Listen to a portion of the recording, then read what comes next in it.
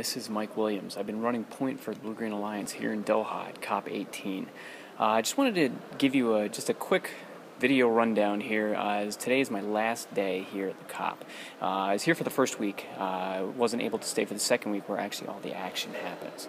But I wanted to just give a quick breakdown. So we've reached the end of the first week here at COP18. This is generally where the posturing and the stage setting happens, and this one is no different.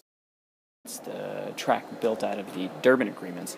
Um, exactly what we'd think. It's a, uh, it's positive, it's formulaic. Uh, it just started, so they're they're you know setting the table, saying good things about all the great response measures and things along those lines that they're going to be putting into place to mitigate climate change and, and eventually you know be set to reach an agreement uh, in 2015 when they're supposed to do that.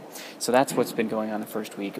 Probably not too much is going to change there for the second week second of the three uh, very important tracks, although there are seven of them. Uh, that one has been, I haven't heard too much in terms of things going on negatively, but there's been a lot of extra time being put in from a number of the working groups. Uh, it seems as though they're really trying to hammer out an agreement uh, specifically on targets for a second Kyoto pre- uh, period the expectation is that uh, something should get worked out by Wednesday or so, and then you know that would be in time for the lawyers to then check it out back in uh, in the EU uh, to to make sure everything they've they've agreed upon works legally. So there's still an expectation that that should happen, whether all the countries uh, who were in Kyoto come back in uh, remains to be seen. We've already heard from a few said they won't. Uh, so we'll, we'll, be looking intently about that. And, and specifically for the U.S., this is just something we're watching. The third of the three major tracks, the LCA, the Long Term Cooperative Agreement uh, that came out of the Bali Accord in 2007, uh, this is uh, where the fireworks have been happening.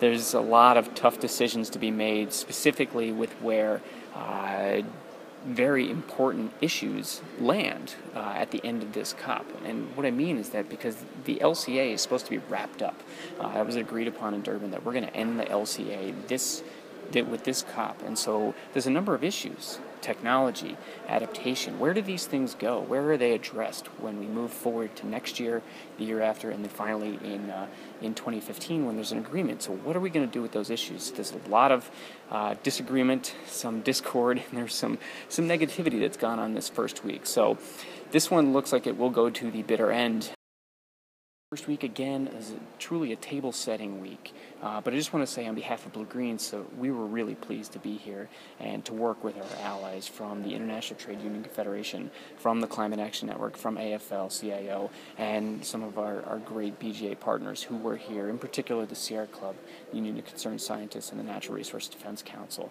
So it was great to be here with them, great to work with them. Uh, and so they'll all be here throughout the next week, and I look forward to keeping up with them uh, and following these negotiations from 4,000 miles away, home sweet home. Thank you very much.